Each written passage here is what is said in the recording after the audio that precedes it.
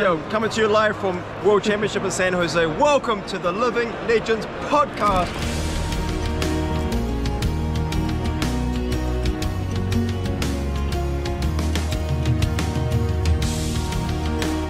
How's it going, everyone? And welcome back to another episode of the Living Legends podcast, your weekly Flesh and Blood podcast, where we talk about all aspects of the Flesh and Blood trading card game.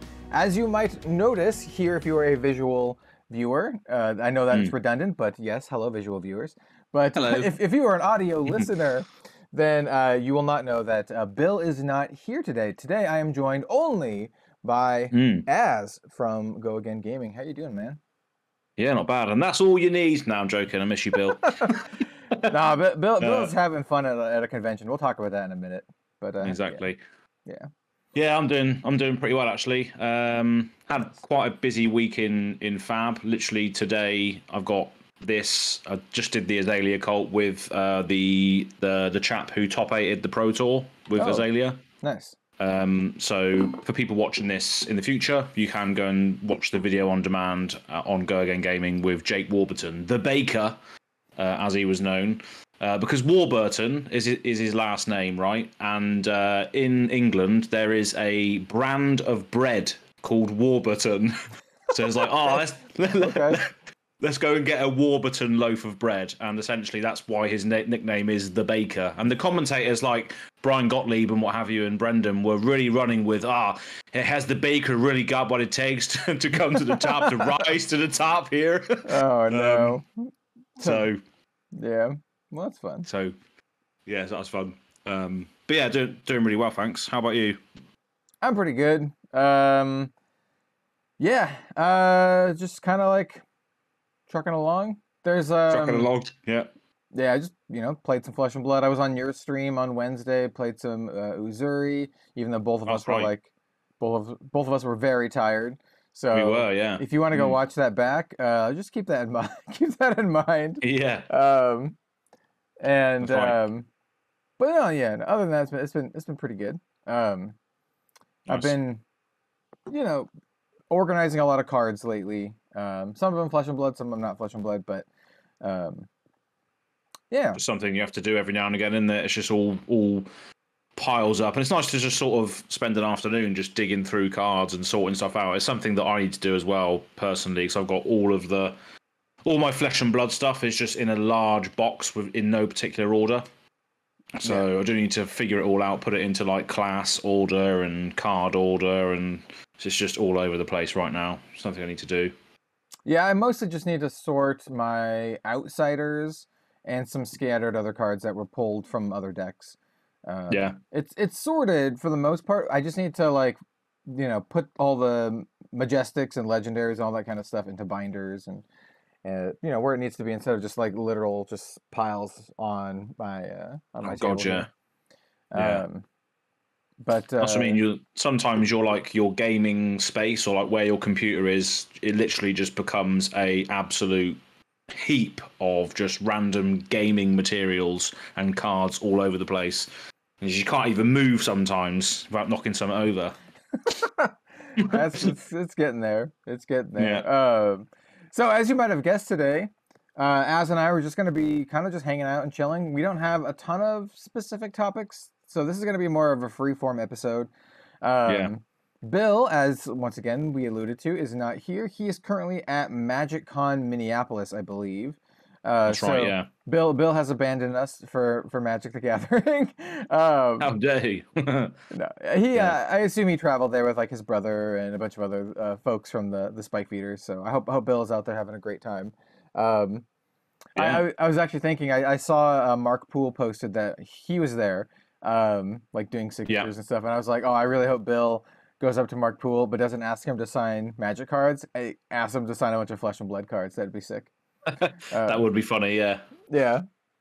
I think Bill did post as well, like um or was it or might have been might have been Kaylee who was going as well, Bill's other Canadian friend. Um but um it could have been Bill, could have been Kaylee, but it, as part of their list, uh, they put, "Oh, I'm bringing this commander deck. I'm bringing this commander Hmm. deck. I'm also bringing Lexi and something Nice. Blitz decks." Nice. Uh, if it- so, uh, so yeah, it's nice to see that, and yeah, hopefully that'll be funny if he does go over to the booth and be like, "Oh, can you sign this quiver, please?" yeah. No, that, that that'd be great. Sign my Mm. plague hive. Um, yeah, which is which I got my my my plague hive uh, was mailed back to me by Jim, who I mailed I mailed it to him to get Mark Poole to sign it for the Pro Tour, and so oh yeah, I have successfully retrieved my my signed plague hive, which is which is very nice. So I was, I was going to say as well because we touched on it on the Azalea cult. I mentioned like um, uh, we were speaking about obviously premeditate and obviously what who's the artist to premeditate? Izuardi, and you were getting something done from Izuardi. Is that right? yeah, You- you can barely see it right here in the background. Oh yeah, okay. It's right there. Uh, Yeah. Not not framed yet, so you can see. So for the uh, the audio only listeners uh, in the background, you can see I have some paintings here. These are original paintings from a game called Sorcery, and then I have Yeah. two original hand drawn um, Shikishi drawings from Livia Prima. I have Prism, and then I have Dromai, and then beneath that I have this hand drawn drawing. I guess you could say it's not really a painting. Maybe call it a painting from Islardi uh, Iswari Therianto, and he did uh, uh, Uzuri for me, which is which is an interesting thing because uh, he's the artist who also uh, drew Arakni, like the the official hero art for Arakni. Uh, he did not draw Uzuri, but um, I messaged him because I saw that he was going to the Pro Tour. This was months ago, and I and I saw that he did Shikishi drawings, and I was like, oh, do you, are, do you do those uh, by commission? Like, can I can I ask you to do one for me? And uh, Mm. he said, yeah. And I was like, sweet. His prices were about the same as uh, Livia Yeah. Prima. Uh, just so you know, it's like ba- about 200 to $250, depending on the size of the drawing. But for a hand drawn, like one of a kind custom thing, I, I think that's pretty good. Um, yeah, and um, uh, yeah, I asked him um, if he could draw Uzuri, even though he hasn't drawn Uzuri in any of the Flesh and Blood art yet. And uh, I was like, if you don't want to, because you haven't drawn the character before, absolutely no worries. I'll pick a different character. I'll just pick Arakni instead. Either way, I wanted like an assassin. Um, Yeah. And he was like really gung ho about. He was like, "Yeah, let's do it." I'm like, "Oh, awesome! Like you can draw either young or adult. I'll let you pick. I like them both, so I'll just let you pick." And he's like, "No, I want to do the adult one. She looks awesome." And I'm like, "Yeah, yeah. dude, yeah, dude, let's do it." So if, Ah, if anyone nice. is curious about how to go about like doing that kind of stuff, like honestly, just reach out to the artist. Like they're people just like us, and in my experience, they're also very nice people. So um, Yeah. yeah, like worst case scenario is they give you a price that you can't afford or whatever, and in which case is like no no big deal, like no no harm no foul, you know. Um, exactly. But once again, Yeah. expect around two hundred to three hundred bucks um, Mm. for, for for something like that. Um, I um I met uh, Wiz Tan at Worlds because he was there, wasn't he?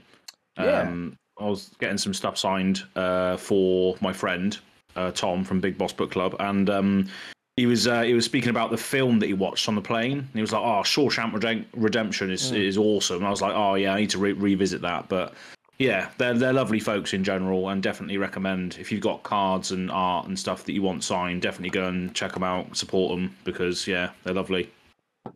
And it's all part of their all part of their income as well, isn't it? So Yeah, uh, and I also want to Mm. give a shout out to all, you know just all the artists in general. I know more than a few of them watch and listen to this podcast. So uh, that's right.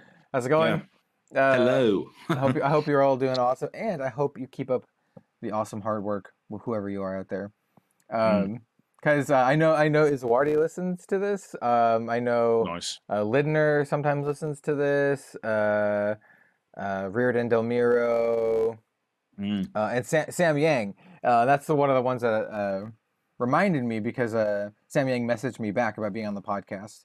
Uh, long story short, he will still be on the podcast. He's very busy, um, and uh, yeah, eventually, sometime, sometime this year. Um, Exactly. Yeah. So uh, yeah, so shout out. We've got loads of guests, loads of guests lined up, and shout out to all of them who are going to appear on this at some point. yeah, yeah. So so shout out to Sam. So if you're listening, Sam, how's it going, man? Um, don't don't forget to message me back. Yeah. Please respond to me. Yeah. Um, But uh, so I, I've just, I've just, uh, I've just refreshed Twitter, mhm. um, literally just now, um, and uh, I think that this was posted maybe yeah, it's posted yesterday from at Mask of Momentum, and then obviously um, Carolina responded, and then Mansant just responded to it, which is why I've seen it because it's a, a big long thread. But apparently, there's these drawstring Legend Story Studios bags. Have you seen those? Yeah, I saw Are they them. are they from Baltimore or?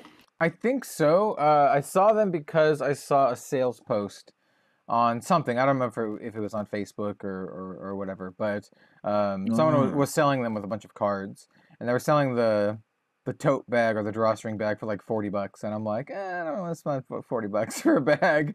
Um, no, but I was just like, where have they come from? maybe maybe we'll just get one when we go to Worlds or something, you know. Hopefully, Um, yeah, yeah. Yeah, it's, it's cool. I, I like seeing the more like LSS branded stuff. I imagine stuff like that is manufactured by uh, Andy, the same dude who did the um, who's done a lot of stuff. He did like the Flesh and Blood socks, you know, the the Cracked Bauble Right. Christmas socks. He's done. Um, made your stuff as well, didn't you? Because you know, I know he made um, the shirts. Fab the Azalea Cult T-shirt as well. He made as well, so Yeah. nice. Um, yeah, and I don't I don't think he did these bottles, but um, I know he's done a Hmm. bunch of stuff. So I wouldn't be surprised if it was him. He he uh, famously has made a lot of the uh, like the judge shirts, and he might have made some of the trophies. Um, so he's got he owns like a production company that makes a bunch of stuff. that's pretty cool. Yeah, so reach out to him if you want like custom stuff done, I guess. Um, and that's that, that's an interesting topic and conversation, really. Mo- you know, moving on from that is, do we think that uh, at Legend Story Studios will start to make merch because people clearly want it, don't they? You know, like in mass produce, like the the big dice and you know the bags and t-shirts and hoodies, and it could be something that they capitalize on, surely. Yeah, I think at some point they do, but uh, James, every time someone asks about it, um, and if we ever Yeah. get James on uh, the show here, we can ask him about it too.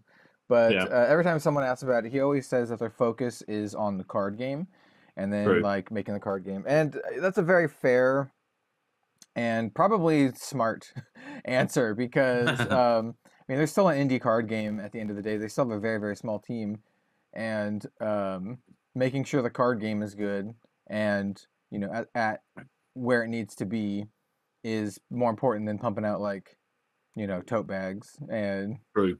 Yeah. shirt, shirts and stuff. Even though I, I would I would instantly buy a flesh and blood shirt like like Yeah. or a hoodie for sure. But That's that's what I mean though. It's like the the way they've the way they've started and the way that they've ingrained themselves in people's lives, you know, and the fact that they're a hero centric game really has sold their whole sort of mission statement to you. So it's just like you're if you're into Flesh and Blood, you're in it. You know, whether you like the characters or the actual gameplay or what have you, you are essentially in it. And there's people all over the place that would buy this stuff. And you know, I would buy an Azalea shirt which had LSS on it as a as like a little label or something. You know.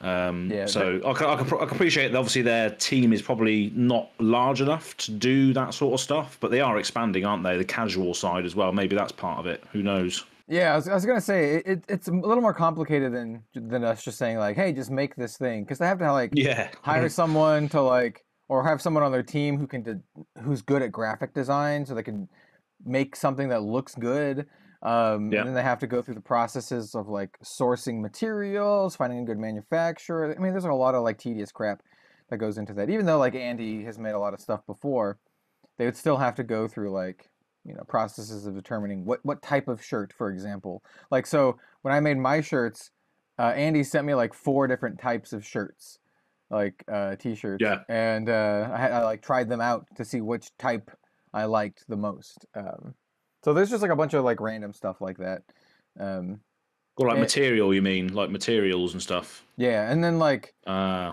and then they have to think about how they're going to sell it like currently they don't have a way to sell direct to consumers right there's no like flesh and blood online store or anything like that so they'd have Yeah. to be like okay is this something that they're going to get through distribution which is probably not going to happen because i don't even know if us distro does like that kind of merch if it's only physical cards or if they actually do like shirt merch and stuff like there's a bunch of weird stuff that goes into it you know just Uh, imagine though, if they just imagine if they launched a web store, how many sales they would get in the first day would be ludicrous. I imagine.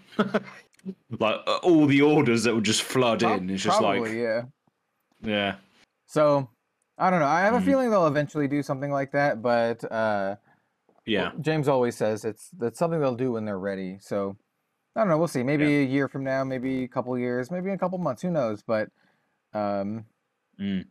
yeah, I, I do Yeah. think it's something they'll, they'll, they'll eventually do.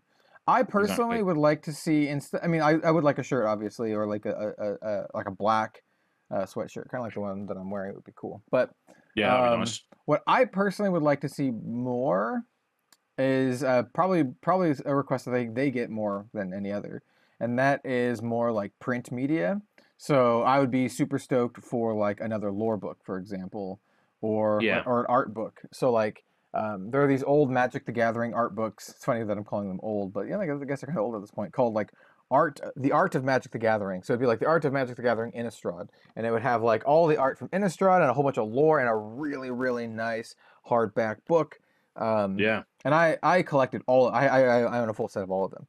Um, I think they're very nice and very very cool, and I would love to see something like that from Flesh of Blood.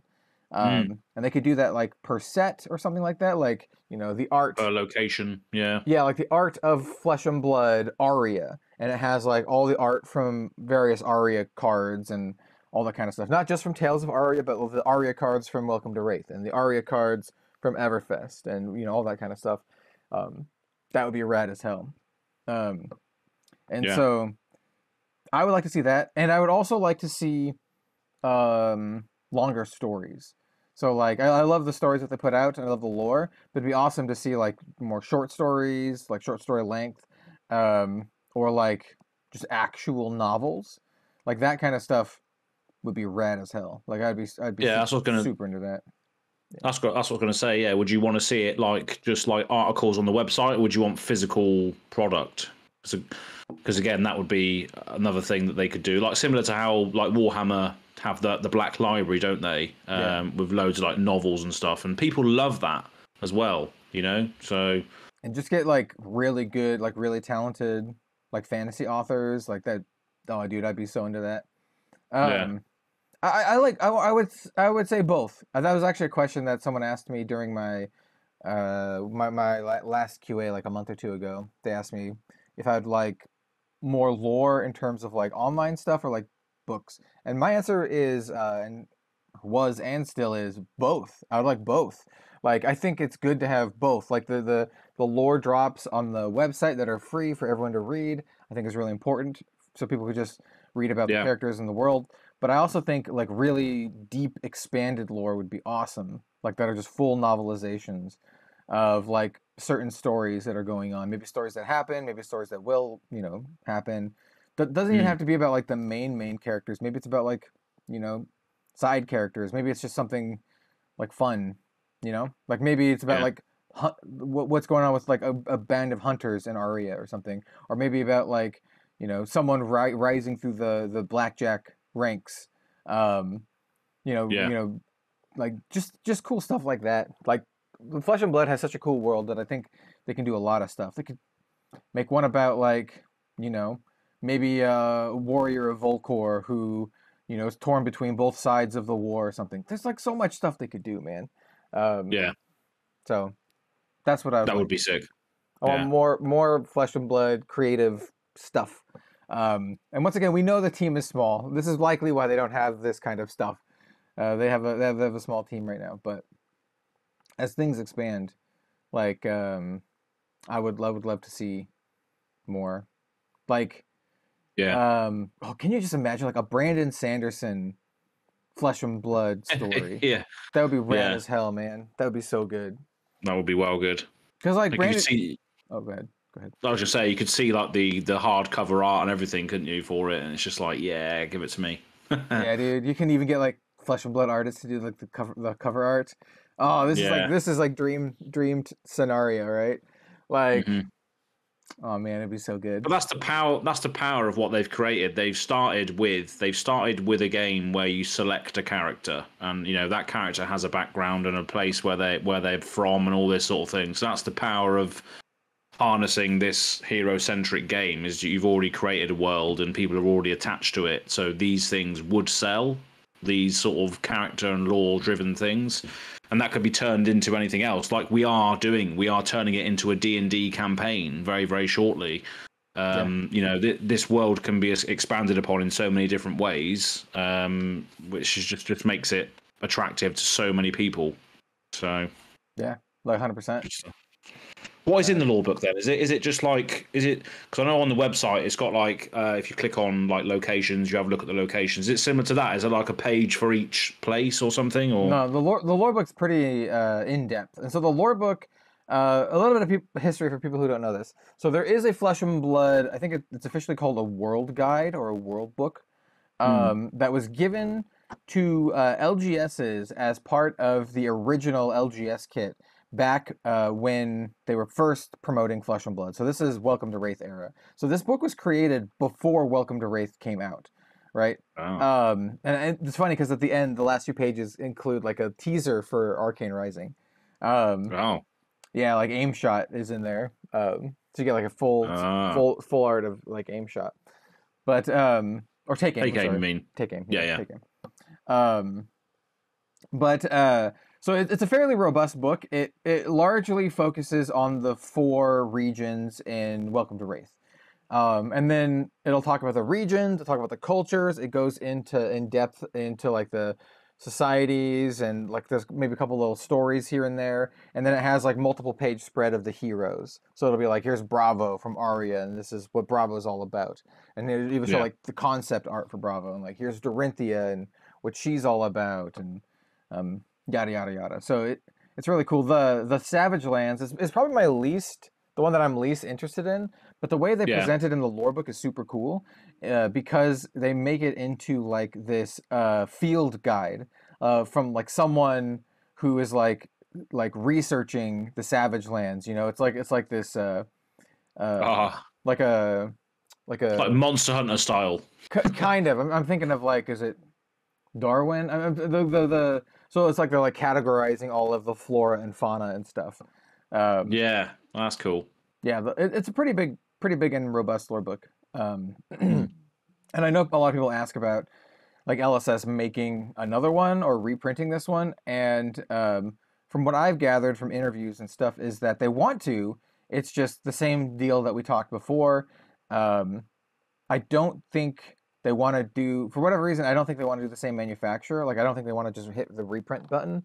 Uh, i think they want to do something different. And so to do that they have to find a manufacturer they have to find all this kind of stuff. And when they wanted to do it before they said it was like really really hard because like paper was scarce at the time. And it might still be i don't know. But hmm. um, mm. i know it's something they want yeah. to do. And i would be super happy like super stoked for more more of that kind of stuff. Because um, like right now the only way to get one of those lore books is to be given one as a store. I don't think you can get them anymore like th- this way. So you have to already have one, buy one secondhand, or be lucky enough for LSS to like send you one. And I don't think they have very many left. So, like. No, yeah, well, they've been using them as prizes for certain things, well. Like, um, they use it for the cosplay in Lille, and they've used it for other things as well. I think the finite supply that they have left, at least. Yeah, like I've basically accounted for two of them, sort of. So like they Robbie Wen sent me one, um, and then um, when I was uh, doing like a little fundraiser thing, so uh, I won't, I won't dwell on this too long, but long story short, uh, good buddy of mine and like I was a friend of the Living Legends podcast, even though he hasn't been on there yet. Uh, uh, the professor from Tulane Community College was doing mm-hmm. a uh, trans lifeline fundraiser. Uh, it was mostly for magic. Oh yeah, yeah. It was mostly for magic stuff, and I saw it, and I was like, dude, I want to. I messaged him. I was like, hey, I want to be involved, but I want to do it from like a flesh and blood kind of thing.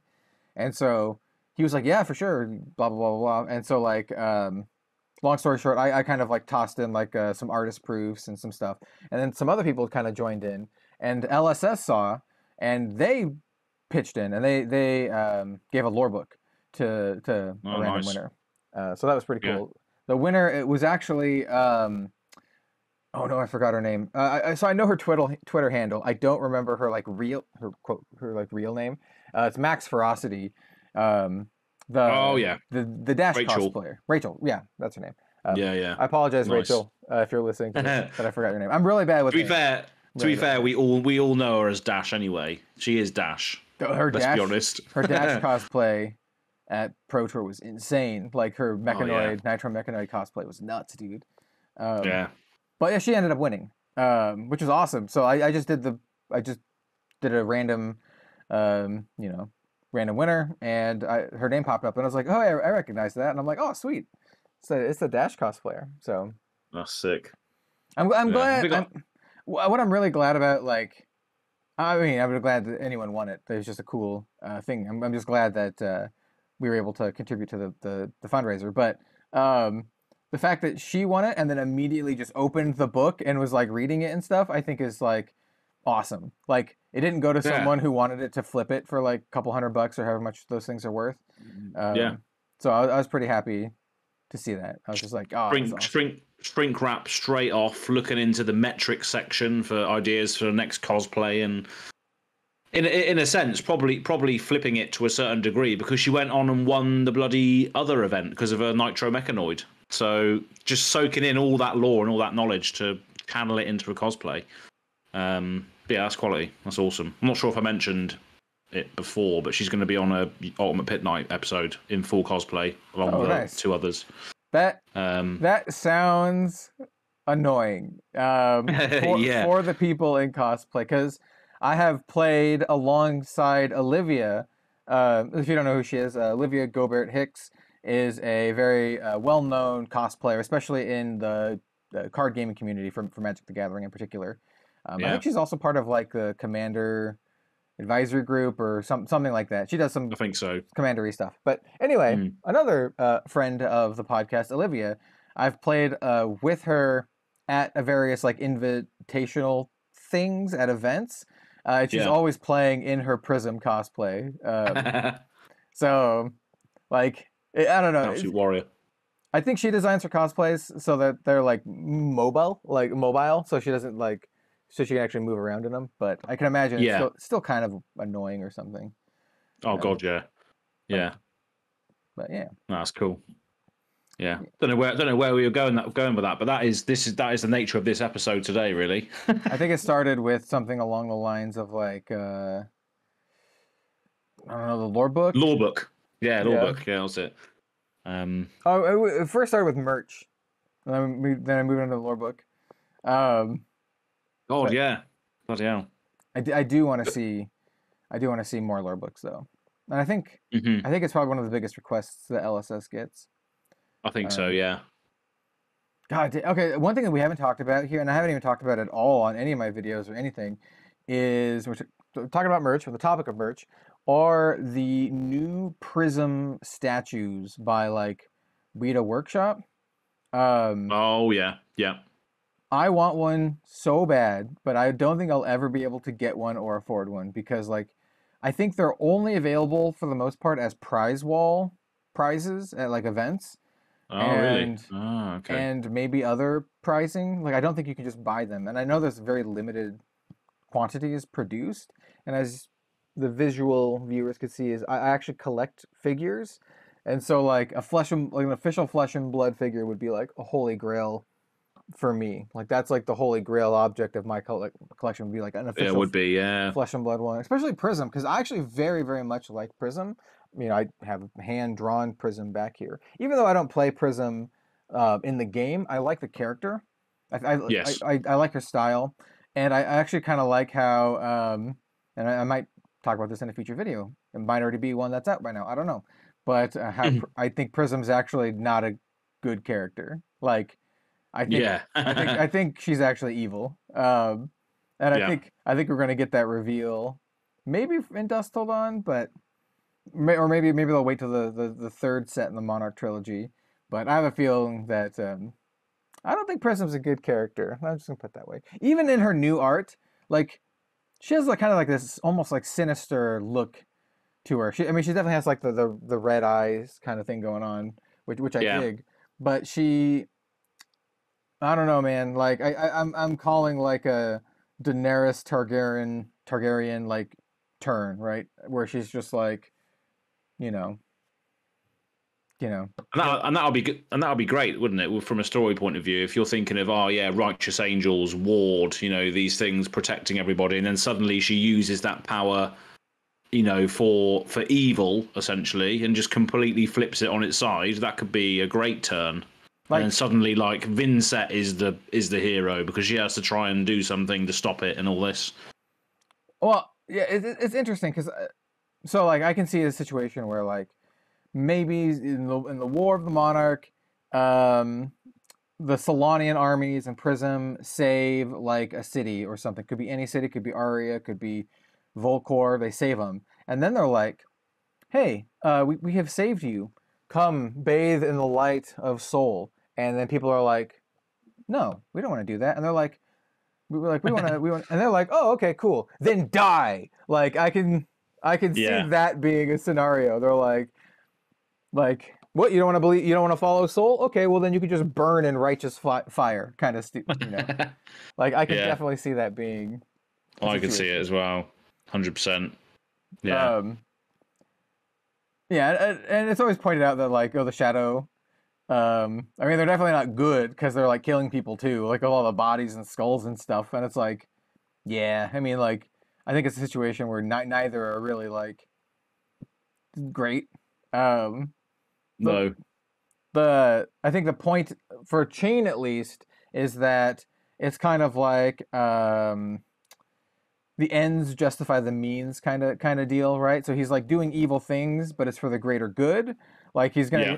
have to kill people now to save the entirety of the world. I think is the whole Chane thing that's going on because he he thinks that Sol is one of the old ones, and the old ones are here to destroy and, and enslave humanity, um, like all of Yeah. humanity. And so, like, you know, I think that's that's why that's why it makes Chane and the Demonastery kind of kind of interesting. Um, yeah, they're, they're not just like cackling, mustache twirling evil characters. They're not like, ha ha, killing because because I can. Like, here I go killing again. Like, Yeah. It's going to be interesting to see how it turns out because another thing we can briefly speak about, which I don't think we have done on the podcast uh, so far, is the key art for the stained glass windows and what characters appear in that stained glass window. yeah, Um, because i i in this in this uh, stained glass window piece, you can see Prism leading all of these heroes and armies towards uh, what looks like Solana. Uh, I don't know for what reason this is. It just looks like a cool piece of art.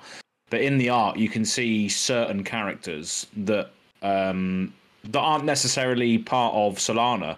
Um, and one of the most interesting bits is the bottom the bottom left corner. You can see uh, Oldhim and Lexi in the bottom left corner. hmm. Yeah. I've, Um, so take a look at this. yeah, so it's the key art. Um, so it's available on Legend Story Studios uh, website. But in the bottom left corner, you can see Oldhim and Alexi in the bottom left corner in the stained glass. There is also like a like a Yorick looking bard character as well in the bottom left corner. Um, that it's got the same same sort of outfit as what Yorick's got on, and so it's like their adventuring party from Aria. If you look back at the lore, it was Lexi Oldhim and Yorick and a couple of other characters Bri- that were traveling. To, Briar was there too in the lore. It could be it could be Briar as well, but it looks like it's the same outfit. Like it's got like a blossom of spring um, on the stained glass on the stained glass window. Where- so yeah, that- Where, where is this, by the way? I want to look it up. I want to see. uh, I- I- so it's so it's it's on the retailer retailer assets bit assets. under Mon- under Monarch, and then it's the key art for that. And it's got big three stained glass windows. Cool. oh, oh, oh, retailers, marketing assets. Cool. So yeah, if you're looking at this, go to um, the Flesh and Blood website, fab, fabtcg.com, and then you Yeah. can go to uh, the retailer tab and then marketing assets. Um, yeah, and then and then you click on Dusk Till Dawn, and then you go into the key art for that. Yeah, I didn't. I didn't realize that the the key art was like full there. I had I had only seen it like in screenshots and stuff of the uh, of the trailer. Yeah, Oh yeah, that that is Oldhim, like one hundred percent Oldhim. Yeah. And And then then you got Bol- Boltyn's pretty obvious. yeah, Boltyn's on the far right. 'cause obviously he's part of the legions. That is one hundred percent Lexi there. Interesting. Yeah, Oh, very interesting. Okay, wait. Actually, let me pull. you know, we can we can talk about this. Let me pull it up. I'm gonna do a little bit of uh, guerrilla podcasting here, and I'm just gonna bring it up on That's my. what, that's what this episode is guerrilla podcasting. Literally Yeah. what it is.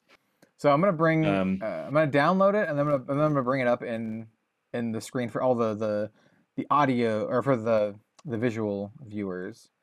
Yeah, So- and obviously we can ex- we can explain that as I was just doing earlier there. So we've just pretty much covered the the the, the left and right panes.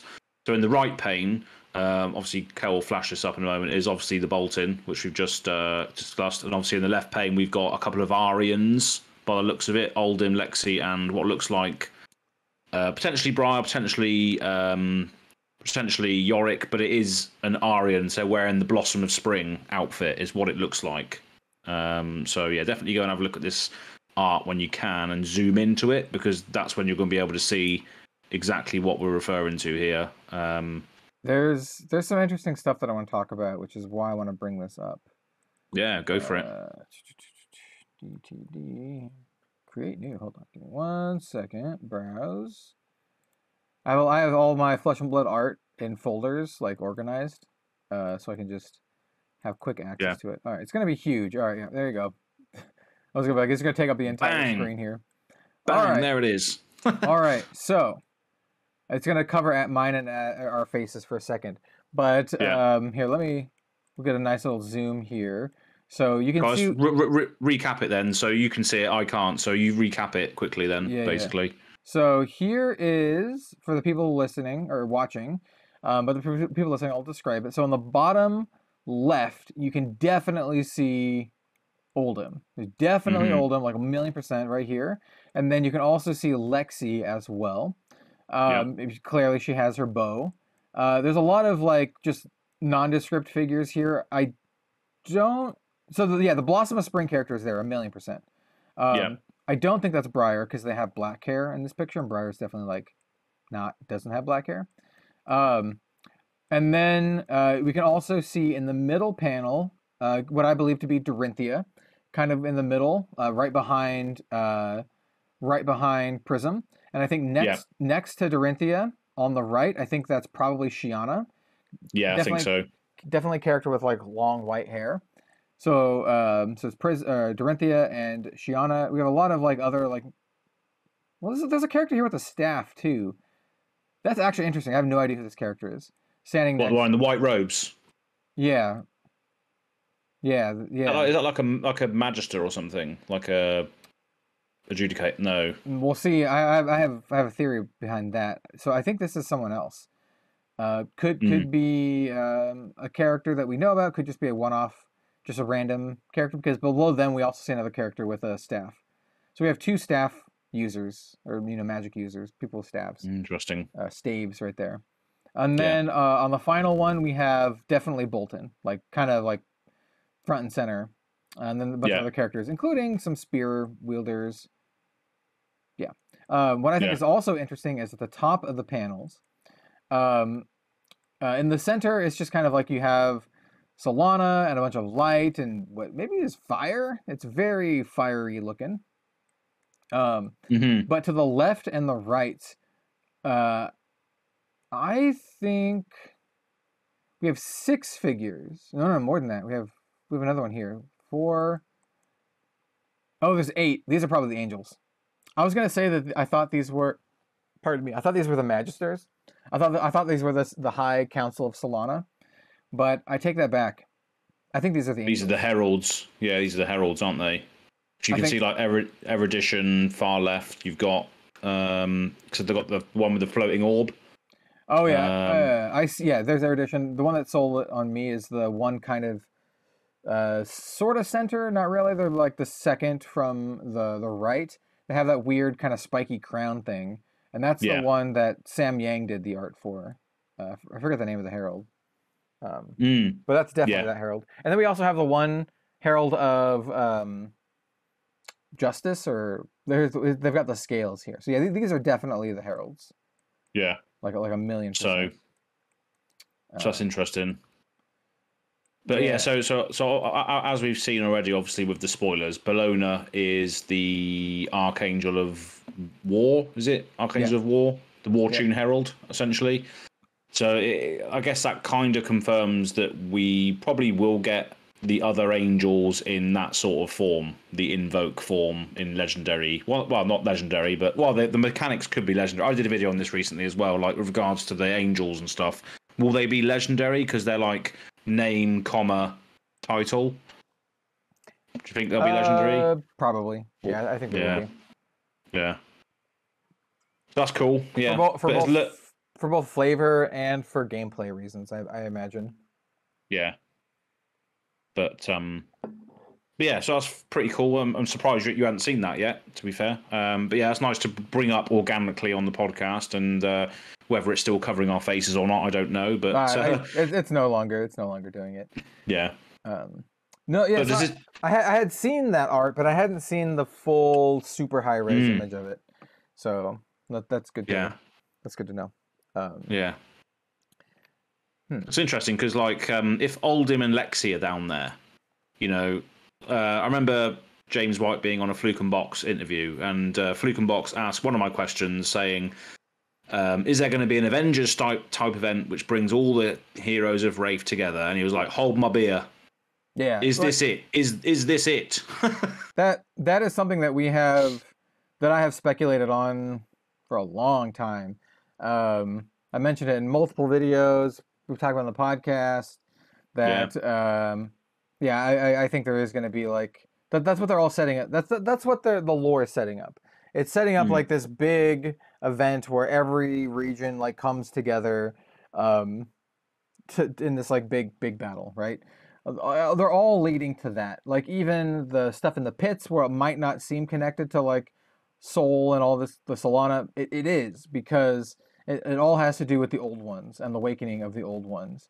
Um, and we we know from some of the lore that the old one of chaos lives underneath the pits. Like that's that's where that region that that uh, old one is, and each Yeah. region has its own like old one.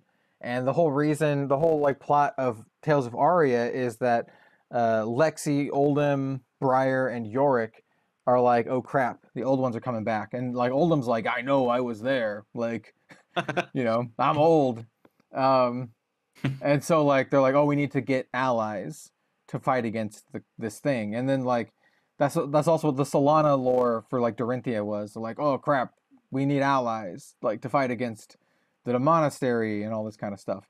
But then the Yeah. monastery is like, no, bro, like you are like worshiping an old one, like like you are one of the you are feeding into this. Um, Mm. so like like I think that's where all this stuff is gonna you know coincide. Uh, even even um, uh, uprising, we had the emperor died, and with the emperor slain, they no longer um, quell the you know the rest the, the the sleep the sleeping old one underneath Mount Volcor. So now Mm. you know w- without someone to um without someone to uh you know lull that old one back to sleep who knows they might wake up at some point. Um Yeah. so they're definitely setting all this up for like this this big battle with like the old ones. And i think i really think what's going to happen is that uh solana sides with the old ones.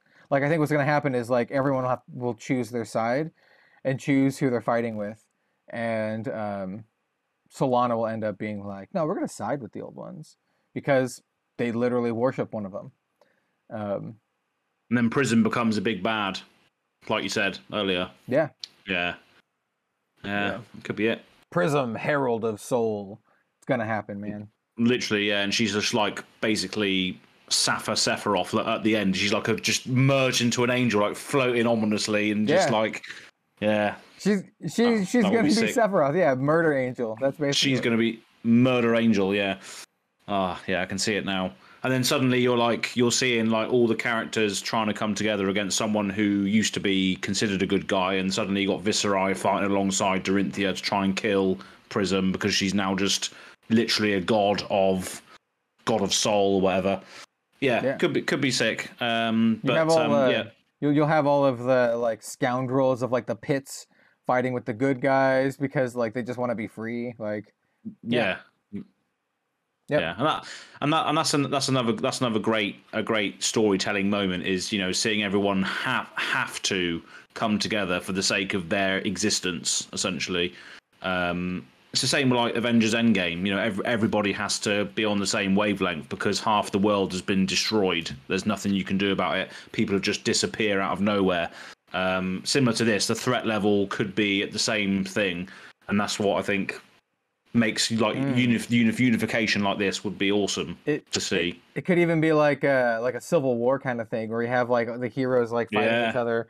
Like I can I can imagine situations where like I don't know really what the brutes of the Savage Lands are, are doing, but I can imagine that maybe maybe they have an old god as one of their deities, right? Like a you know the old god of strength or some crap, and it's Yeah. like maybe it's a situation where like Solana used to fight against the the brutes because we have that in the lore, but maybe they ally up because they're both on the side of the old ones, and so that's where a Mm. situation where you have like Solana allying with the brutes or something like that against all of the people who just want to, you know, not be under the rule of these otherworldly gods. Um, Yeah, maybe maybe that maybe that that could be it as well then, because obviously before speaking of Avengers again, before Endgame happens, there is internal conflict between the people that are uh, that we already know, like Captain America's side versus Iron Man's side. It could be similar to this, where we see first of all we see a battle between characters we already know, and then something even bigger than that happens, and everybody has to come together again, perhaps. Um, but yeah, yeah, obviously there's going to be loads of pop culture that influences these you know these storylines as well, isn't there? So can't wait to see what happens with it. Yeah, I'm very much looking forward to it. Um, yeah, I'm always I'm always really stoked to see like new lore drop, and um, yeah, um, and you can uh, stay tuned to you know the Living Legends podcast because we're definitely going to talk about that kind of stuff when when it drops. Um, so God, yeah, yeah, Yeah, yeah. I hi- highly recommend, by the way, reading up on the current Outsiders lore. I think it's really interesting. Each hero got their own piece of lore that is on the lore page or on the respective hero page, in addition to multiple lore drops. Um, you know, in the articles and stuff. What honestly, what I think Flesh and Blood needs to do right now, um, like they could they could literally do this right now. They just need to have someone who can do it.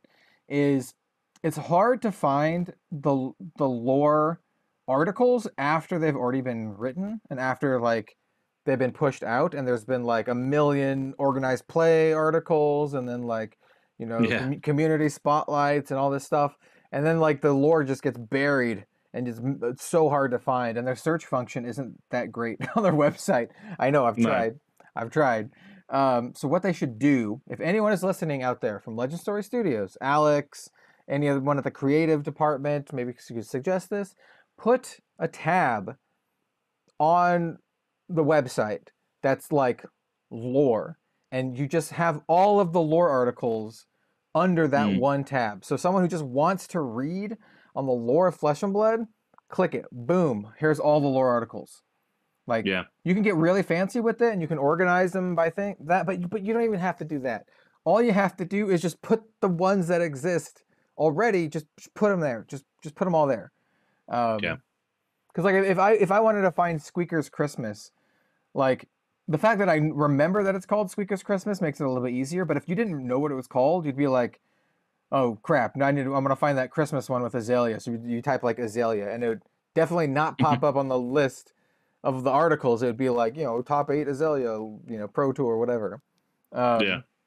So like, yeah, that, that's To be fair, yeah, it's like- definitely it's it, it would definitely be a sick idea for them to do that because I already know someone who is within the community is UK based who's actually got a website that does exactly that. It breaks down everything. You can search for any piece of lore you want, and this person has um has collated it. So this is uh, Nathan Keeper of Tales. So at Jump for Roy on Twitter um, has made legends, legends, uh, legendarystories.net is what it's called. So um, if you click on that, it's it's a very sort of uh, bland sort of dot .net page. You know, it's not fancy or anything, but it's got like a like an index where you can click World of Rathe, Heroes of Rathe, and it has like drop downs for each thing. So you can do it on Nathan's thing, But uh, yeah, I think Legend Story Studios are missing a trick there with something that could be awesome on their website, which is all fleshed out and looks better and all that sort of stuff. Yeah, yeah. The, the thing is, like, uh, so I, am familiar with the website you're talking about. I think it's really cool. Yeah. Um, I do I do recommend it. Uh, I will say, um, they're doing it because they're a fan and they love the game and they love it. But at Yeah. some like, they're not obligated to continue doing this. So like at No. any given time, they can just stop. Like they could just be like, okay, I'm done with this, and then just never Exactly. like, never update it. Which is why I really think LSS should just like just do it. LSS. You don't have to make it fancy. Like you don't have to make it like searchable by keyword or character or whatever. But just just put all the articles there. They can even be in the order, like the same order that you posted them. Like they don't even have to be in a fancy order. But as long as there's a place where you can just go to the website and then click it and then have all the the old, pardon me, all of the lore, um, Mm. that would be great. Because like right now, it's very it's really hard to to find it, um, outside is. of like fan fan websites. Um, Yeah. because like But I mean, yeah. it's easy to find the character lore that's on the character characters themselves, but like the extra bits of lore, um, like the outsiders stories that dropped that weren't the character stories. Um, Yeah. That I it I, I wanted to reference one in a video. I wanted to pick a pull a, pull an image, and it took me forever to find it because I just had to literally scroll through tons and tons of articles to find to find the lore article. I tried to search for it, but I didn't remember the name of it was, and then like just typing in outsiders doesn't help.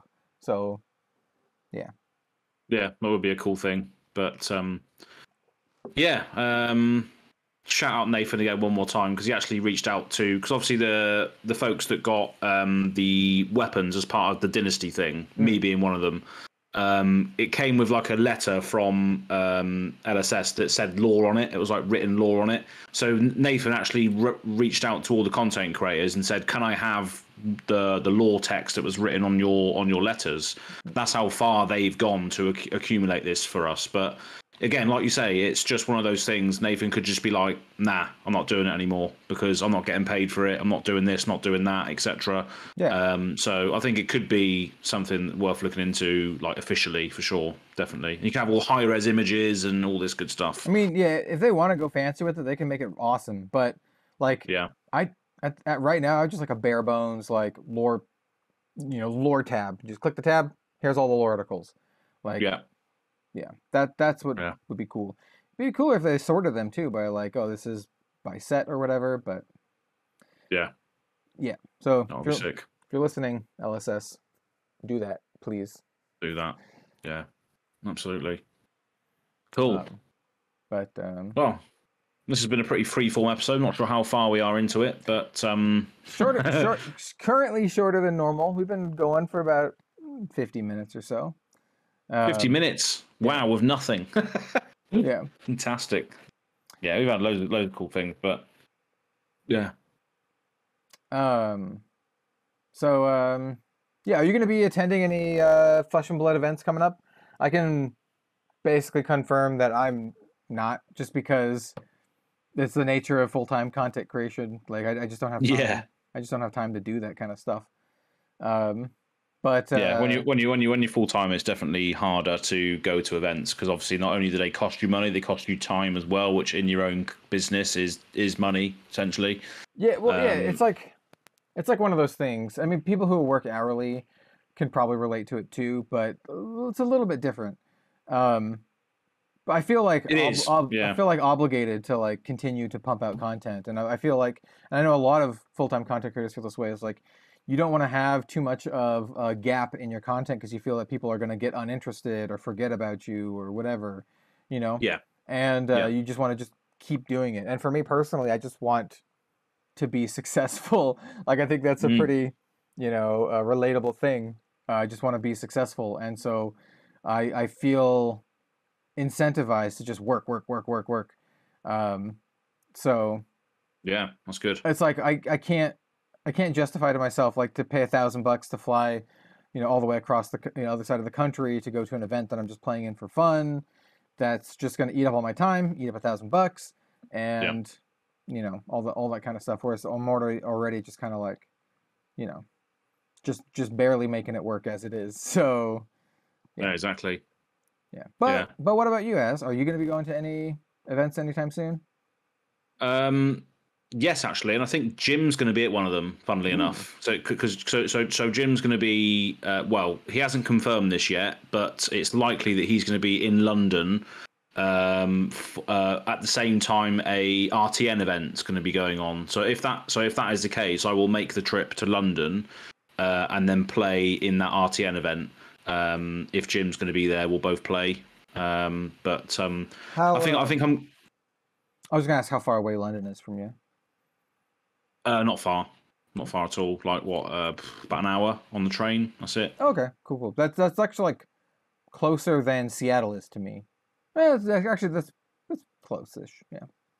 Yeah, it's not far at all.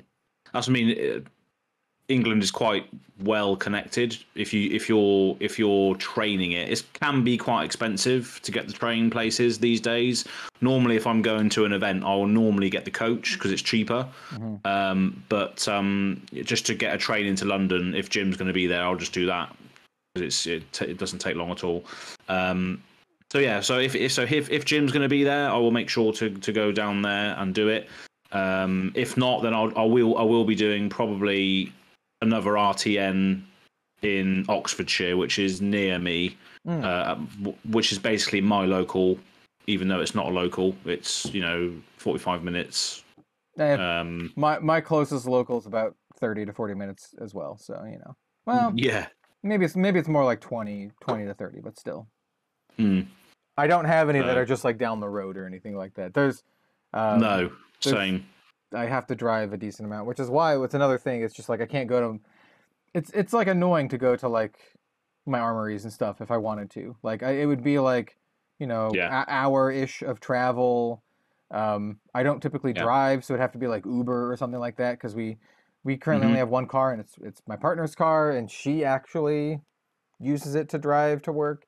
And so like for me to do extra stuff like that, it's like Uber and it's just like too expensive. Yeah. I'm just like Yeah, yeah. exactly. So you can't do it all the time, can you? But I only do Um, pr- I only do pre-release basically. I I I, Yeah. al- I never miss pre-release, but um, any extra event, it's just like I just can't justify it. Just doesn't make no, any- doesn't make sense. Yeah, yeah. But um, unfortunate, but it is what it is. You know. yeah, exactly. Can't do everything, but what we what we can do is Worlds this year, which would be which would be good fun. Yeah, I'm very much looking forward to that. It's gonna So yeah. just waiting for them to announce where the bloody thing will be. Come on, LSS, let's do it. Let's find out. Hopefully, hopefully sooner rather than later because eh, we're getting there, man. It's still it's Yeah. still it's still several months off, but you know, Six months away. That's it. yeah. That's it. And we're going to be partying hard yet again. Um, but but yeah. Uh, so yeah, two events coming up. Hopefully Jim will be at one of them. Um, well, the second one is the RTN, but I, it depends what day it is because I'm also doing the uh, the English restream of the German PTI event, which is going to be I'm going to it's going to be an all day affair on my channel, restreaming their tournament. Uh, and if if you're if you're free early hours of the morning, you can jump on for an hour or so and do some sort of Mm. commentary of me and Pascal. What day was that again? Uh, so that is a, uh, I think it's a Sunday. So it's the yeah, it's the fourth of June. Hmm. Still got another month. We'll see. Yes, Probably. still we'll see. Yeah. We'll see. Um, but um, so yeah, that'll be that'll be that'll be a fun day. Just going to be basically just commentating and casting and you know just having a word of a time with the restream essentially. Me and Pascal. Um, just going to be doing that. So it depends whether it's going to be on that day or the Saturday. I think I think it might be on the Saturday, so I might be alright to do one event at least. Um, because yeah, Azalea looks pretty good right now, and I'm fancy a bit of chance uh, my chances at a local event. Maybe doing something. Who knows? I've Yeah, also man. been play. uh, I've, al- I've also been playing a really strange list on Talishar recently Really? with Azalea with Azalea running Arcanite Skullcap, and I've been I've been winning against Oldhims and Lexis with Dreadbore, Really? Um, and, and and a seventy four card deck. You know, because if you think of how many cards you can put in your deck, you can put you can put as many as you want in there essentially. So I've got six. I've got six pieces of equipment and seventy-four cards. So I- my my, my life my life total, if I choose to block basically I want it's like a mid-range, like a mid-rangey deck with Dreadbore, and it sort of backs people into a corner where you actually make use of smaller hands. You block a lot, and therefore, because you've got loads of cards to block with, your life total is massive. So, it, if you can, if you if you can get through the horrible turns of like Lexi, Three of a Kind, etc., if you can get through those and survive, especially with Quiver of Abyssal Depths as well, you mm. you block with multiple arrows. You can get them back via Codex. You can get them back via Quiver. You know, you don't actually lose anything. Um, so it's, it's it's interesting. I might um, stream it a few times. We'll see. But um, I'm just having some fun with it.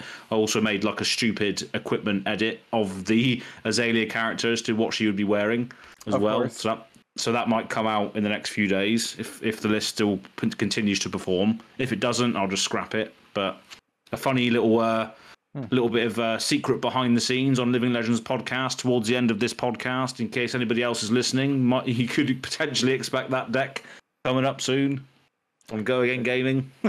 it does sound very interesting, and hey, I'm a fan. If anyone's using Dreadbore, that's pretty sweet. So uh, I'm a fan oh, of epic. that for sure. Yeah. Yeah, but Arc- Arcanite Skullcap on Azalea. No, no skullbone. Just just for the extra three block because you can you can you can manipulate it so that you're on a lesser life total by like one or two. So your skull cap then blocks for two, right? Which is which is pivotal against uh, against some some of the decks like Azalea out there, the other Azalea decks out there. When you've got a piece of two two block equipment on board and the perch grapplers which block for four, plus a tunic if you need to, having having that on board as a ranger is pretty good. I've also uh, I'm still running the bullseye braces, but I was thinking about using Hornet Sting just for the extra block. But she's just an absolute tank. Like loads of D reacts, yellow sink belows in the deck, pure pure spice. It's brilliant. What is going um, on? But we'll see. We'll see how it goes. It sounds interesting for sure. Um, I had a lot of fun. A lot of fun yeah. with it recently. Nice. Uh, but yeah, that's it really. I think for today, isn't it? Unless you've got anything else. Arsenal steps um, and what have you? Um, I mean, not really. Um, mm.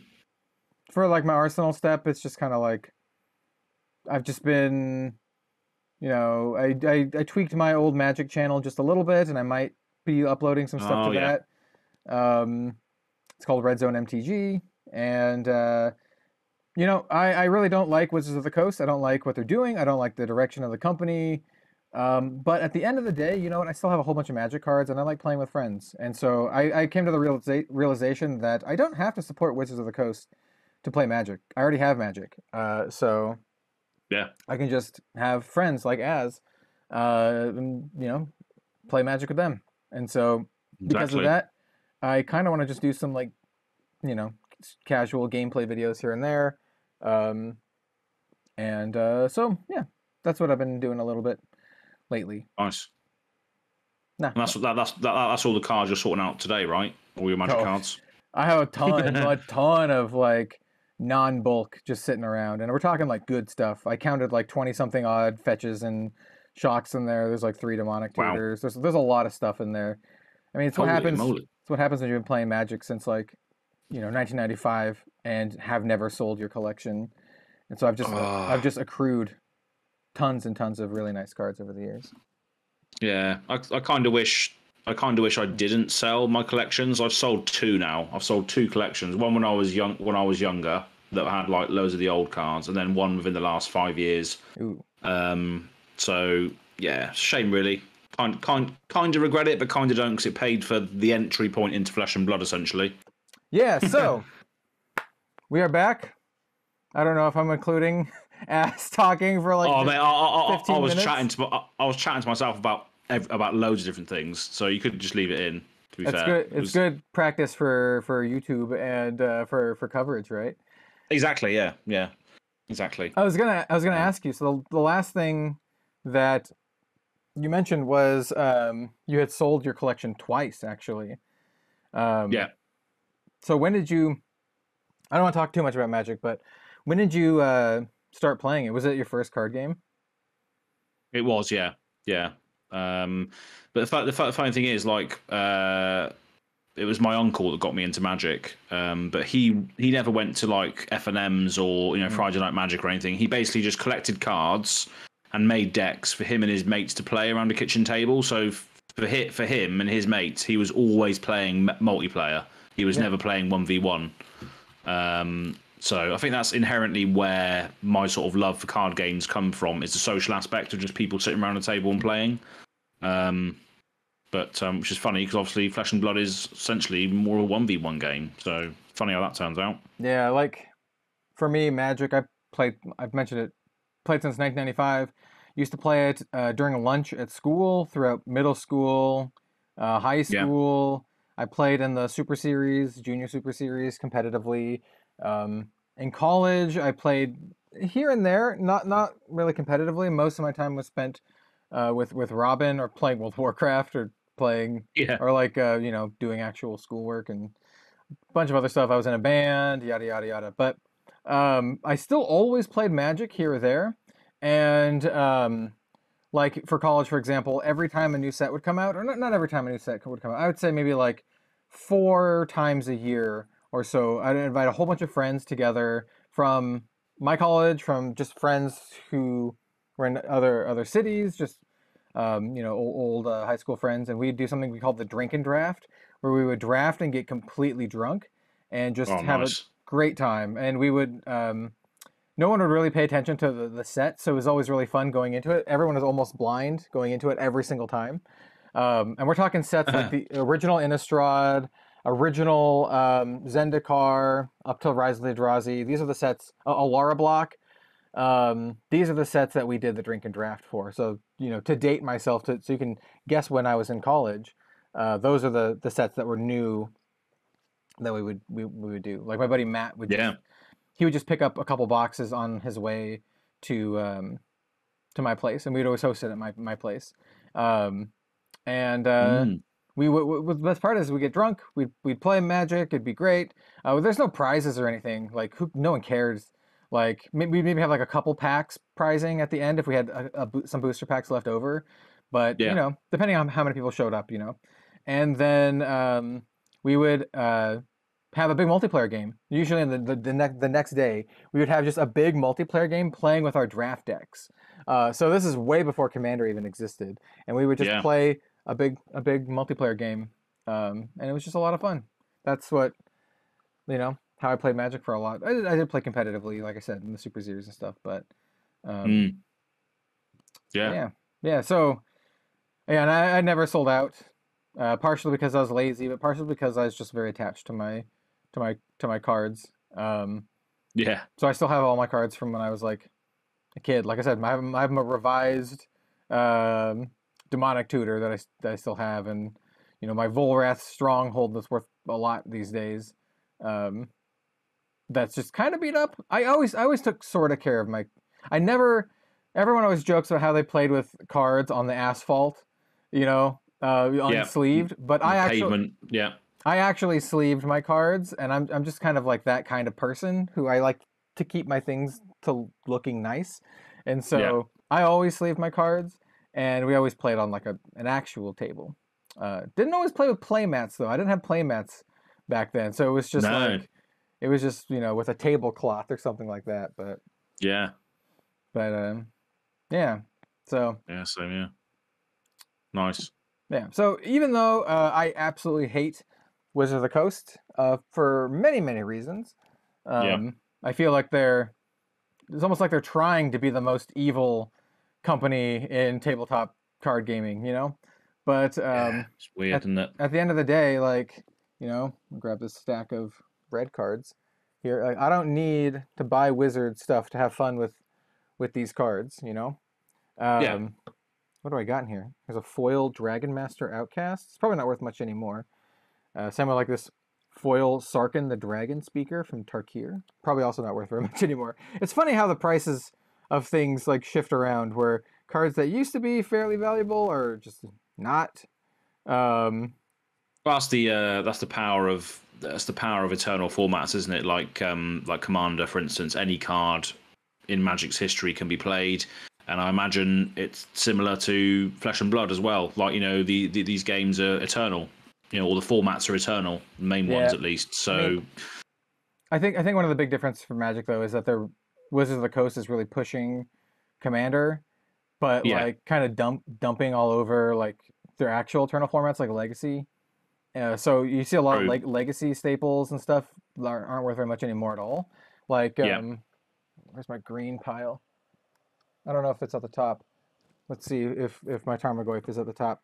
Ooh, I do have some other nice stuff here. So like, here's some Japanese uh, planeswalkers with the anime art. They're pretty cool. Uh, Yeah, but nice. but stuff like here we go. So here here's a Crater Hoof Behemoth. The stupid thing's worth a ton of money, and why? Because this card is really good in Commander. Uh, that's why this this thing's worth a crap load of money. Um, yeah, dude, I have some nice. I really need to sort through. I have some nice stuff. Here's another pile. There's a Force of Vigor and a, a Zuza and an Exploration. But anyway, I was trying to get to my uh, Tarmogoyf because Tarmogoyf is a card that used to be worth hundreds of dollars, and I think it's worth like twenty bucks now, twenty to Yeah. twenty to forty bucks, and it's because like it's it's been you know maybe power crept a little bit, but also like just not a lot of people play modern and legacy and stuff anymore. People play commander. No. Um, so, you know, the, the Tarmogoyf that I have is probably just going to go into like a Canadian Highlander deck or something like that, you know? Um, but, uh, Yeah, it's just just a shame that they've you know they left they left their sort of pro tour circuit on the on the on you know on the floor and love it. looks nice. Yeah, they left it all they left it all on the floor and then focused on just the casual side of it, and that is ultimately hemorrhaged a lot of a lot of players to uh, to other games like Flesh and Blood, for instance. Um, Yeah. But The, the Yeah. s the, sad truth is, is like they don't care. They don't care about No, those players at don't all. They they only care that they're like bringing in more players than they're losing, and they just want people to buy their stuff. It's just buy, buy, buy, buy, buy. Like they don't care. They don't care if about the fans. They don't care about that kind of stuff. They just want you to buy their crap because they're gonna push out a new a new thing next month, and they're gonna push out a new thing the next month after that, and it's just you just buy it, just buy it. Um, yeah, it's one of their philosophy of like um, you know this this product's not for you is a, a famous thing that they've said before and it's like yeah they don't care. Like they just want someone to buy it. Um, so yeah that's that's it's a sad that's a sad thing. I, I mentioned this in my discord but i saw uh like they're doing a commander master set and they shared like the new or not new but like a new foiling for one of the lotuses uh this like the commander lotus i forget what it's called. Not Yeah. gilded is it not gilded lotus but whatever it is it's the command the commander jeweled jeweled, Gold lotus. Lotus. Yeah, yeah. and it's like a, it looks really pretty. The foiling looks nice. It's like textured, and then I, the, like all the comments on the tweet were just complaining, not not about the card.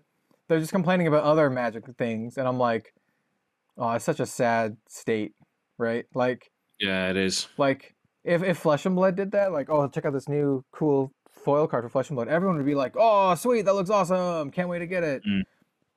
No, for Magic, Yeah. all complaining, talking about Pinkertons, talking about uh, it's gonna be a Pringle, talking just like complaining, just all complaining, like like Ah, yeah, I feel I feel sorry for like people like Vince and and obviously Professor and stuff like they're they're so rooted in in that game and there's so much negativity. I was just like I wonder how it's like affects them sometimes. Like their game is just constantly under attack and their the company is just constantly sh- screwing shit up all the time.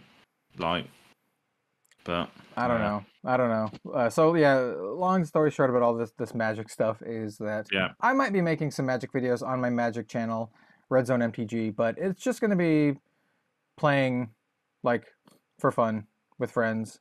Um, Yeah, sometime Commander, sometimes maybe if I can find some friends who'll play Canadian Highlander with me, maybe Oathbreaker, maybe Modern. I actually have a Modern deck. I have a Modern Reanimator deck.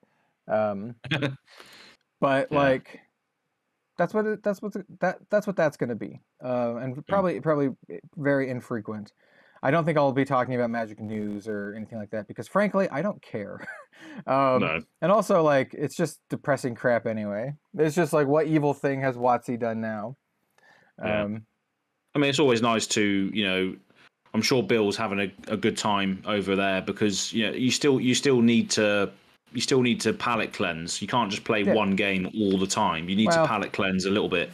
some people can. Like, I was gonna say, Magic players would disagree, but then also, I think some Flesh and Blood players would also disagree because uh, there's a certain contingent of Flesh and Blood players who are actually ado- adopting a very like magic esque mindset where they're like, only Flesh and Blood, nothing else ever. Like, which is fine, which is totally fine, especially if you have a budget and maybe you're just you don't have the capacity for it. But Yeah, true. Um, sometimes people can get mil- militaristic about it, and that's when it starts getting a little grating to Yeah. and maybe you send the wrong message to other people, right? I think that I think being like that might send the wrong message to potential new players too, because you want to be very welcoming, right? And if the new player Yeah. already plays another card game, you don't want like them to join Flesh and Blood and have a lot of Flesh and Blood people crap on their other thing that they like. I don't know. Um, Exactly. yeah. people should just be um, people should just be more open about things. You don't have to play all the games, but just be cool with it at least. Like, come on. Yeah. Exactly. And luckily, our luckily the community has not evolved to that stage yet. I- um, I've seen some things on Twitter. Some people are getting that way, but you know, hopefully it doesn't. Hopefully it doesn't uh, stick around. Hopefully people can have a more open mindset about things, even if they're not interested in other things. You can still be open-minded. Yeah, exactly. Yeah. So Nice. that's that's that. That's the Living Um, Legends Weekly MTG. Nah. No, no, no, no. No, not, not at all. Not at all. Yeah. I won't even. I don't even think I'll be open uh, uploading anything magic related on on Red Zone Rogue. To be honest, I was thinking No. about. I might like make a post that's like, hey, if you like magic, maybe check out my other channel. I'm doing a game gameplay with Az. Um, Yeah. But, you know, other than that, I'm not gonna make like a video or anything. No. Um, eh, yeah, like I, I was telling that to to Az actually right before the podcast started is that like just magic content on this channel never does well, um, and I think that's for multiple reasons. But um, I'm cool with that, which is why I would Mm. I'll upload the other stuff to the other channel, which inexplicably has a bunch of videos with over 10,000 views because people are like rewatching all of my Oathbreaker stuff and all my Yeah, old, old Commander videos from like three years Yeah. ago, uh, which is kind of funny. Um, so Fantastic. yeah. Anyway, that's that. Love Flesh and Yeah. Blood. Love Flesh and Blood community. Um, it's actually really nice to to know how great the Flesh and Blood community is. After like kind of like taking a peek at Magic recently, um, Flesh and Blood is just like in such a good place in terms of community. I mean, like obviously there's not like you know eight million players worldwide like there is for Magic or whatever the number is, but um, the people who are here are for the most part awesome people, and the community is great. Um, so Yeah, and it's it's it's it's at that stage as well. Like you know, there's so many new people. Will be so many new people coming into the game that the community is so well established, and there's pillars of the community all over the world now. And we won't we won't stand for garbage in in the community.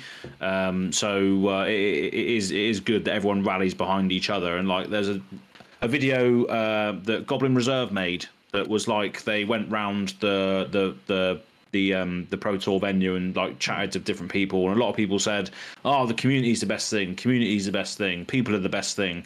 Similar to when i did the sort of worlds uh thing when i did the worlds thing uh, asked people about the uh, what their favorite part of worlds was. A lot of people were saying the same thing community. Um so yeah it's a better good a time as ever to get into the game. So if you're if you're listening to this this far and you still haven't played flesh and blood what are you doing? Get involved. Yeah, especially if you honestly like if if you're at that point and you're intimidated about Flesh and Blood and you're like, oh, I don't want to play this hyper competitive game, just know that um, Flesh and Blood it really seems like they're taking actions to make it a lot more like new player and casual friendly. So I think Yeah. now and going forward, it's just gonna be really really easy and good to enter the game. So absolutely yeah, yeah, take take the leap.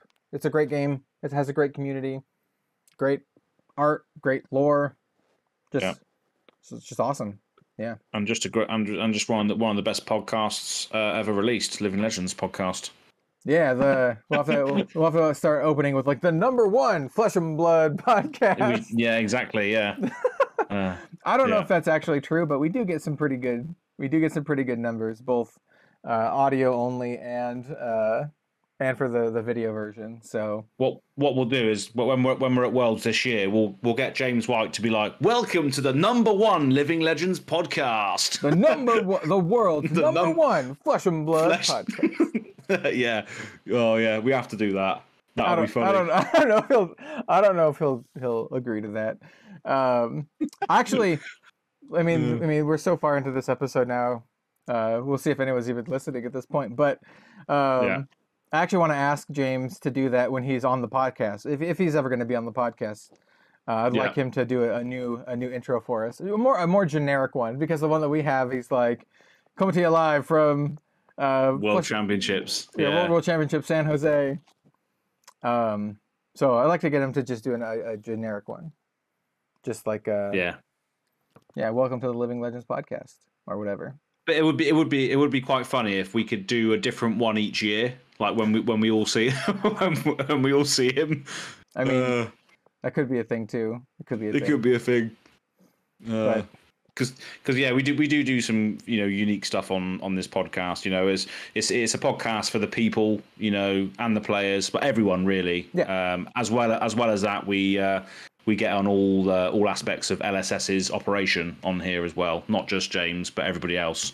Um, so That's that. That's a really big thing that you know, I we and we have focused on is just Yeah. getting um, just people from LSS in general because LSS is more than just James White, and I think. James White would heavily agree with that.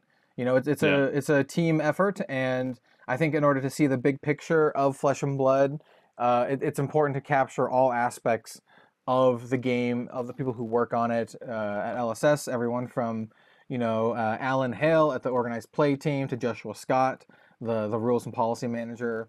Um, we're gonna have uh, artists on. We're gonna have um, we had Chris Bewley on before. Maybe we can get Alex on here at some point, and he can talk about how he has changed yeah, up, how he's changed up the the content space for uh, cool. for Flesh and Blood. And so I think I think we're the only Flesh and Blood podcast that has only had LSS guests. Um, all of our guests have been from Legend Story Studios. Even Ian, who used to work at Legend Story Studios. That's um, right. All of our guests have been there. So Yeah. And uh, we're gonna continue continue that trend, though. I think we might break the trend when we have the professor on here, but I don't know. He, Yeah. he is he is making or he is uh, collabing with LSS to make a product, so I don't know if that's gonna count. Um, Yeah. Well, we'll be able to say that uh, all the guests uh, either work at LSS or has collaborated with LSS to make a product. How about that? yeah, um, definitely. Uh, so yeah, and that, that, that's by the way when, when I when I do plan to ask uh, Prof to be on here is uh, after his product is announced, he'll come on here and we can talk about it. Um, Sounds good to me. we've already I've already talked to him about it. It's we're gonna do it at some point. So Lovely um, old job. yeah. Fantastic. Lots of exciting things to look forward to this year and uh yeah i just thank everyone for being here for listening to the podcast um, Yeah. whether you are an audio listener or a uh, video viewer uh, just thank you for being here um, you know I, I wasn't sure what to expect of the podcast when i first kind of pitched the idea to az and uh, bill but i think it's it's become one of my like you know mainstays it's like one of the the weekly things that we're always I always look forward to, even if we have nothing to t- talk about like today. so yeah, um, and yeah, how long how long was the episode? Like looking at the OBS? Uh, well, I was in the restroom for a little bit, so yeah, like an hour. Yeah, but that, that that's one of the best parts when you just when you just hear me chatting to myself or like speaking about your the, the room that we can see in front of us and stuff. Oh yeah, I have a, I have a lot of crap in here. Some things I need to clean up. Some things are, are nice. I like my I like my uh, my art wall, which will be Yeah, expanded uh, in, in the future. Like it's one of those things that's like, you know, we talk about going to Worlds, but if Livia Prima is going to Worlds as well, then I'm definitely going to ask her to do an art thing for me, and another so I one. can Yeah, so I can have the art thing. Yeah. yeah, Um, fantastic. yeah. So, yeah. So thank you all again for uh, for being here. And uh, as uh, where can the good folks out there find you? Absolutely, yeah. So, uh, so I'm Az from Go Again Gaming. You can see my little logo up there today. There we are. Look. Um, bit of self promotion on Kel's channel. We're he. Um, but um, but yeah, so Go Again Gaming and then Go Again Gaming on uh, Go Again Gaming AZ on Twitter. Uh, posts a lot of things on there, and as we discussed fairly earlier, there might be a, a new sort of wacky Azalea thing out there soon, or at least the picture and the idea behind it because it looks cool with her wearing an Arcanite skull cap. Um, but um, yeah, that's it really. Thank you very much for listening. Yeah, my name is Kel, also known as Red Zone Rogue. You can find me everywhere at uh, Red Zone Rogue, mostly at YouTube or Twitter. So if you're somehow listening to this and uh, you didn't know that, well, there you go. You can you could you could find me. you can find me there. Um, and also, uh, if you want to check our magic stuff occasionally, Red Zone MTG. But like, I'll be honest, man, like I don't know how often I'm gonna upload to that thing. Like, I don't We'll know. We'll see. see. It's it's just really like a thing where I'm like, hey, I kind of want to play Magic, and then you know I like making videos, so just do both. Might as well just record it and upload it and see what happens. Yeah, Just do both. Just have some fun. First match, exactly. uh, I'm playing Maelstrom Wanderer, and Az is playing.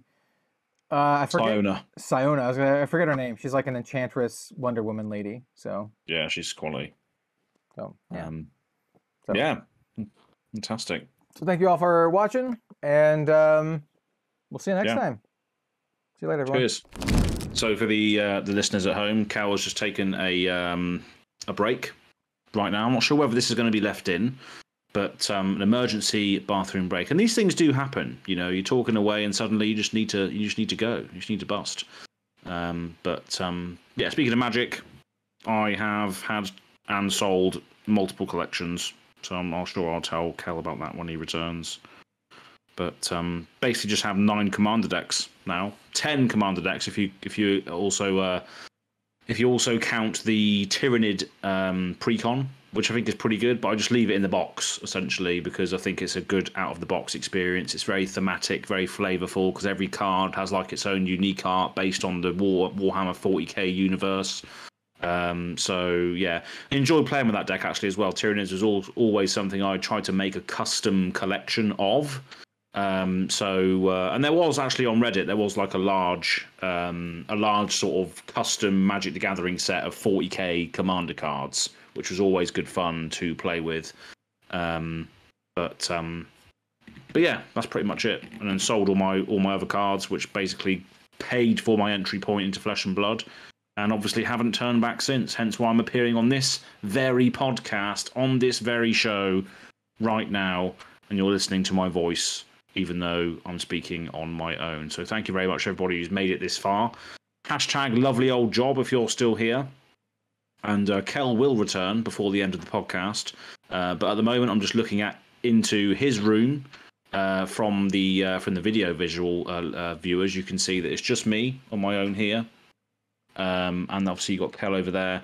Well, no Kel over there right now. Just a awesome backdrop for the Red Zone Rogue Studio. Look at that. That is this very seat in front of us that Red Zone Rogue sits in. Wow. What I would do to sniff that seat. Holy moly. Look at all those cards in the background as well. Look at that. He's got a whole absolute tower of power, he likes to call it. Fantastic. All those boxes on the top as well. All those Japanese figures in the background. You know what I'm talking about. You've seen the Red Zone Rogue background before.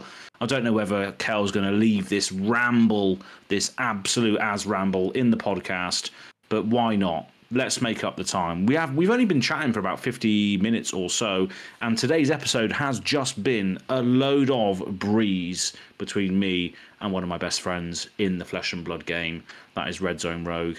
He's still there in the toilet right now. I can't see him. I can just see obviously the door frame as you can see on the podcast now. He hasn't returned yet, but I can expect him any moment now. He is taking longer than I anticipated, so maybe he's having a number two. We'll we will see very very shortly. Probably not going to ask him the question, but hopefully he leaves this in anyway. It's quite cool.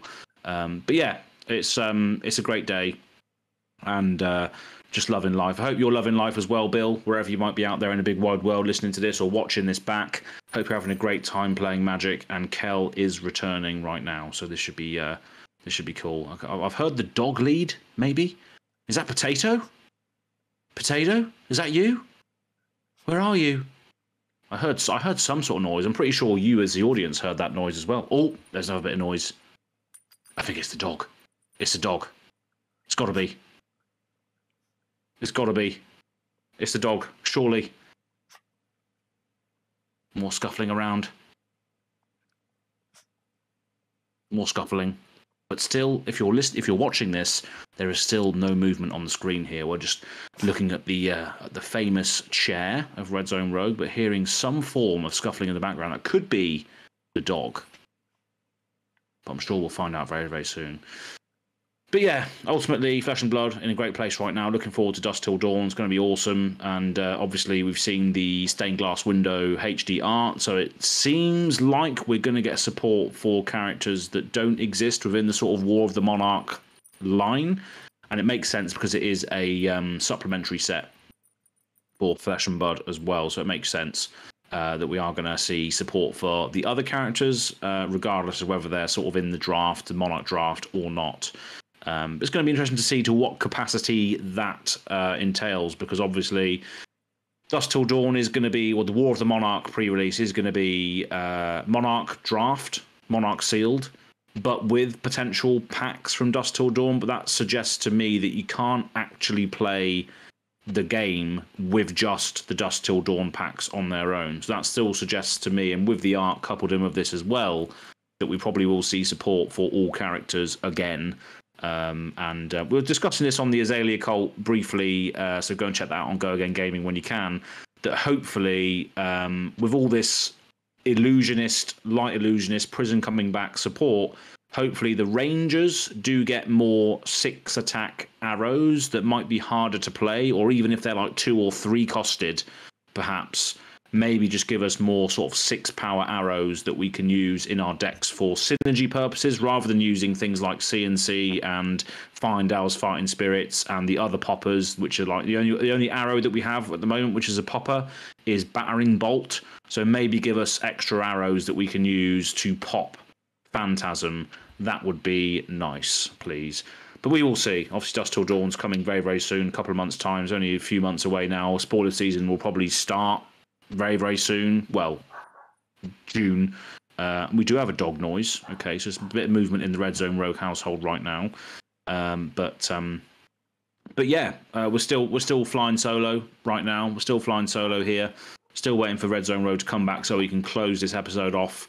But hope you all having a great time uh, wherever you might be out there in the big wide world watching this or listening to this back. Um, I hope you're having a great day what are you doing? Let us know in the comment section below um, because it's a big wide world out there, and I, I, I always love podcasts. I always loved listening to them when I was working in a warehouse.